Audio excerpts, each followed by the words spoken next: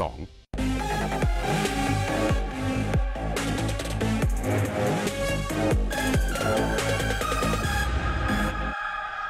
ลับมาในช่วงที่ 2 แล้วค่ะคุณผู้ชมคะและช่วงนี้บอกเลยนะคะน่าสนใจมากโดยเฉพาะคนที่กำลังมองเรื่องของการเก็งกำไรในตลาดอสังหาริมทรัพย์หนะคะหรือมองว่าเอ๊ะจะซื้อบ้านหลังที่ 2 หลังที่3เนี่ยค่ะห้ามพลาดห้ามเปลี่ยนช่องเลยนะคะเพราะว่าในช่วงนี้มีผลกับคุณผู้ชมแน่นอนค่ะคือพูดถึงปีหมูทองนะหลายคนบอกว่าโอ้โหน่าจะเป็นปีทองของหลาย ๆ ธุรกิจใช่ไหมคะแต่จะเป็นปีทองของอสังหาริมทรัพย์หรือเปล่านี่สิอันนี้คำถามสำคัญนะคะแต่แน่นอนคุณผู้ชมคะก็มีผู้เชี่ยวชาญนะคะที่เขาคาดการณ์ว่า ปีนี้เนี่ยสถานการนะคะ น่าจะคึกคัก แต่ว่าจะเป็นช่วงหนึ่งนะคะ ก็คือตั้งแต่วันนี้เนี่ยไปจนถึงประมาณสิ้นเดือนมีนาคมค่ะ ตลาดอสังหาริมทรัพย์จะมีความคึกคักขึ้นนะคะ ผู้ประกอบการอสังหาริมทรัพย์ก็จะมีการปล่อยของมาเต็มที่เลยค่ะ เพราะอะไร เพราะว่าอยากให้เกิดการโอนนะคะให้ได้มาให้ได้เร็วที่สุดนั่นเอง อันนี้เนี่ยก็เป็นผลมาจากนโยบายของแบงก์ชาติค่ะที่จะเริ่มในวันที่ 1 เมษายนที่จะถึงนี้นะคะ ซึ่งนโยบายนี้รับรองเลยค่ะว่ามีคนที่รับผลกระทบแน่นอนหลายคน แต่จริง ๆ แล้วก็เป็นนโยบายเชิงป้องกันนะคะเหมือนกับหลายประเทศในอาเซียน ไม่ว่าจะเป็นมาเลเซีย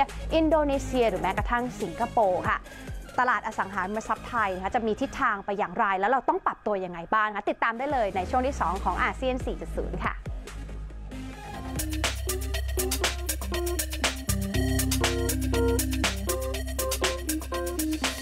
ปีนี้ตั้งแต่วันที่ 1 เมษายน 2562 ธนาคารแห่งประเทศไทยจะเริ่มต้นใช้นโยบาย กำกับดูแลสินเชื่อเพื่อที่อยู่อาศัย ซึ่งระเบียบต่างๆ เหล่านี้ส่งผลให้การปล่อยสินเชื่อยากขึ้น และกระทบโดยตรงกับคนที่ผ่อนบ้านพร้อมกันสองหลังขึ้นไป และคนที่ซื้อบ้านราคาเกิน 10 ล้านบาท แต่ก็ถือเป็นการยกระดับมาตรฐาน การปล่อยสินเชื่อเพื่อที่อยู่อาศัยของสถาบันการเงิน ช่วยสกัดหนี้เสีย NPL และป้องกันไม่ให้เกิดฟองสบู่แตก ถ้าผู้บริโภคที่ซื้อหลังแรกเลยนะคะ แล้วไม่เคยซื้อมาก่อน แล้วก็ราคาต่ำกว่า 10 ล้าน อันนี้ไม่มีผลกระทบอะไร เพราะกู้ได้ร้อยเปอร์เซ็นต์เหมือนเดิมนะคะ แต่ถ้าเป็นเอ่อผู้บริโภคที่ซื้อหลังที่2นะคะ แล้วหลังแรกเนี่ยผ่อนมาแล้วเกิน 3 ปีนะคะ ตรงนั้นกู้ได้ยังกู้ได้ 90%อยู่ ถ้าเป็นผู้ที่ซื้อ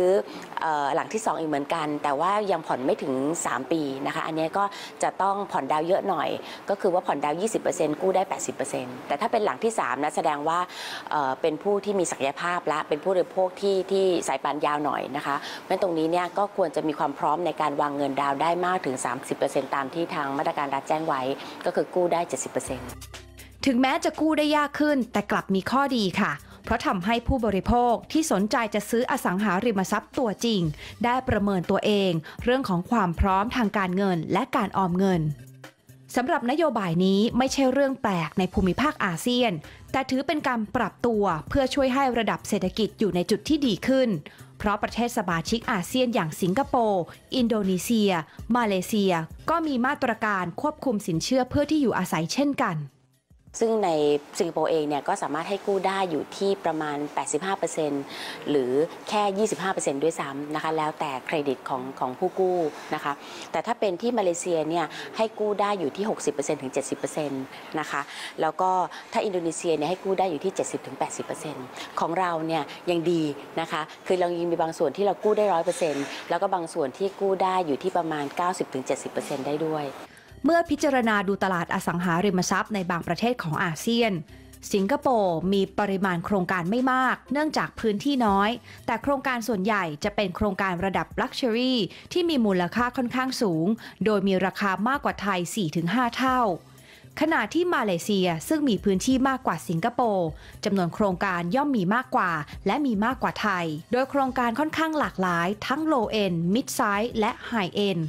ส่วนที่อินโดนีเซียก็มีโครงการเปิดเพิ่มมากขึ้นตามลำดับเทียบกันใน 4 ประเทศนี้เนี่ยค่ะของไทยก็จะอยู่ระดับกลางๆนะคะ แต่ว่าข้อดีก็คือว่าในมุมของออประเทศไทยเองเนี่ยนะคะก็จะตอบโจทย์ทั้งคนไทยแล้วก็ชาวต่างชาตินะคะ เพราะว่าชาวต่างชาติเองเดี๋ยวนี้มาประเทศไทยก็มาได้ง่าย ๆนะคะ แล้วก็เรามีนโยบายจากการท่องเที่ยวแห่งประเทศ แห่งประเทศไทยที่ช่วยสนับสนุนนักท่องเที่ยวต่างชาติให้เข้ามาเที่ยว แล้วก็เดี๋ยวนี้ชาวต่างชาติมาเที่ยวไปด้วยแล้วก็มาช้อปปิ้ง property ไปด้วยในตัว อีกสิ่งหนึ่งที่เราจะได้เห็นจากผู้ประกอบการในไทย ก็คือการเน้นการพัฒนาโครงการออกสู่พื้นที่รอบนอกมากขึ้น โดยเฉพาะตามแนวรถไฟฟ้าส่วนต่อขยาย จังหวัดปริมณฑลและภาคตะวันออก ซึ่งมีปัจจัยเสริมมาจากโครงการ EEC ของรัฐบาล โดยทั้งโครงการรถไฟความเร็วสูงเชื่อม 3 สนามบิน รถไฟทางคู่เชื่อม 3 ท่าเรือ ทางหลวงมอเตอร์เวย์ รวมถึงโครงสร้างพื้นฐานดิจิทัล มีผลทำให้ภาพรวมอสังหาริมทรัพย์ มีการปรับตัวเพิ่มขึ้นต่อเนื่อง มันก็จะทำให้ ตั้งแต่นักลงทุนนะคะที่สนใจมาลงทุนในประเทศไทยนะคะและมาอยู่อาศัยในประเทศไทยเลยเนี่ยก็จะมีจำนวนมากขึ้น แล้วก็นักท่องเที่ยวก็จะมีจำนวนมากขึ้นด้วย เรามองเห็นได้เลยค่ะว่าพื้นที่อย่างเช่นชนบุรีนะคะก็มีอย่างเช่นในอำเภอพานทองเนี่ยนะคะมีราคาที่เพิ่มขึ้นนะคะเทียบจากควอเตอร์ที่แล้วนะคะราคาอสังหาเนี่ยเพิ่มขึ้นประมาณ 4.66%นะคะแล้วก็ถ้าเป็นพื้นที่ในระยองนะคะอำเภอชื่ออำเภอปลวกแดงนะคะตรงนี้ก็ราคาเพิ่มขึ้นถึงประมาณ 13 กว่า13เกว่าๆการที่เชื่อมโยงไปถึงสนามบิน 3 แห่งนะสุวรรณภูมิดอนเมืองแล้วก็อุตภาวเนี่ยก็จะช่วยทำให้การเดินทางยิ่งสะดวกมากยิ่งขึ้น ที่ผ่านมาตั้งแต่ต้นปี 2018 จะเห็นได้ว่าจำนวนอุปทานในกรุงเทพลดลงอย่างต่อเนื่อง แสดงให้เห็นว่าผู้บริโภคมีการดูดซับซื้อได้มากขึ้น เป็นผลมาจากการที่ผู้ประกอบการมีการจัดโปรโมชั่น และทำราคาให้เหมาะสม ไม่แพงจนเกินไปทำให้ผู้บริโภคมีกำลังซื้อได้ อนาคต เทรนด์การแข่งขันในตลาดอสังหาริมทรัพย์ จะเป็นการแข่งขันด้านนวัตกรรมมากยิ่งขึ้น รวมไปถึงการพัฒนาโครงการแบบ Mixed Use เพื่อตอบโจทย์ดิจิทัลไลฟ์สไตล์ของคนยุคใหม่ ซึ่งเป็นการเพิ่มมูลค่าที่ผู้ประกอบการเสริมเข้าไปส่วนอีกเทรนด์ที่กำลังมาแรงในตลาดก็คือการจัดกลุ่มผู้บริโภค เน้นเจาะกลุ่มผู้สูงอายุ และมี joint venture กับนักลงทุนชาวต่างชาติ เช่น ญี่ปุ่น จีน และฮ่องกง ซึ่งได้ประโยชน์หลายอย่าง เช่นในเรื่องการออกแบบที่ถูกปรับไปตามดีไซน์ ตามวัฒนธรรมของแต่ละชาติ และยังได้ Market Channel เพิ่มขึ้นจากประเทศนั้นๆ ซึ่งยังคงที่ที่ 49%สำหรับคอนโดมิเนียม และขายหมดอย่างรวดเร็วค่ะ มาถึงตอนนี้คุณผู้ชมก็พอจะได้เห็นภาพรวมกันบ้างแล้วนะคะ ว่าเออจะเกิดอะไรขึ้นบ้างใครได้รับผลกระทบยังไง ส่วนช่วงหน้าค่ะเดี๋ยวพาไปติดตามสถานการณ์ที่ผ่านมา และสิ่งที่จะเกิดขึ้น ใครที่มีคำถามว่าจะซื้อหรือไม่ซื้อดีจะซื้อตอนไหน แล้วจะซื้อที่ไหนยังไงนะคะช่วงหน้าห้ามพลาดเด็ดขาด มีคำตอบสำหรับคำถามเหล่านี้พักกันก่อนสักครู่เดียวค่ะ